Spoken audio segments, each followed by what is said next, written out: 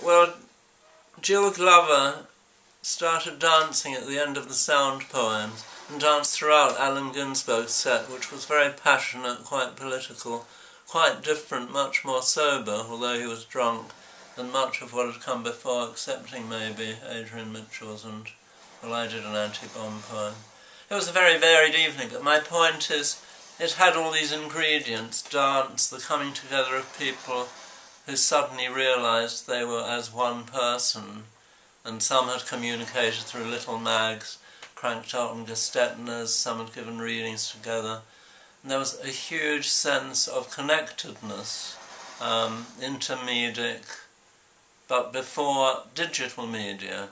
So although technologically I'm still completely out of it, I can't switch on a computer, I don't like looking at the screens for long, because they give my tired old eyes migraine.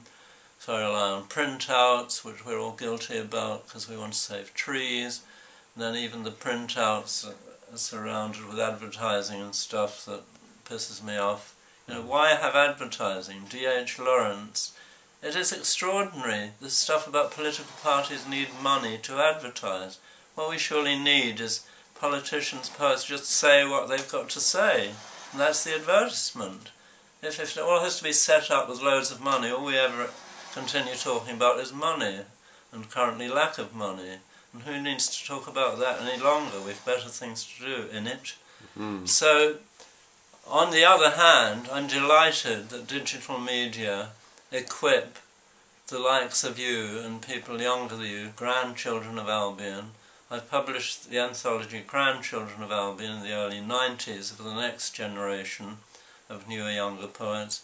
My son Adam Horovitz, John Hegley, Melanie Abrahams and I are co-editing the great grandchildren of Albion, but given as ever it's hard for the likes of us to get funding, by the time that finally staggers out, if I live long enough, it will be time for the great great grandchildren of Albion who are already banging on the door, doing their self-publishing on new digital media, getting their own stratospheric fifth dimension poetry with music, with computer, with space travel, without knives, and without political or arts council approval. There you go! Arctic monkeys, eat your hearts out. Poets are on the warpath.